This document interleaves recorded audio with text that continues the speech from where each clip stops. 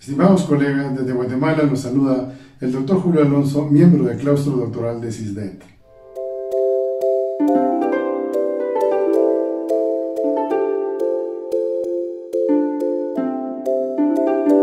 Las personas mayores de 60 años representan el grupo más vulnerable, por eso te pido que te unas a la campaña Yo protejo a mis viejos.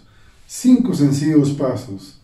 Uno, no dejo que tengan contacto con nadie que no viva dentro de la casa. Dos, no dejo que lleguen visitas de amigos o parientes. Tres, no dejo que ellos hagan sus compras, yo las hago por ellos. Cuatro, cada vez que salgo y llego a casa, me cambio de ropa y me baño. Cinco, no los saludo, no los abrazo, y habrá tiempo para volver a sentir su amor y su calor. Yo defiendo a mis viejos. E tu?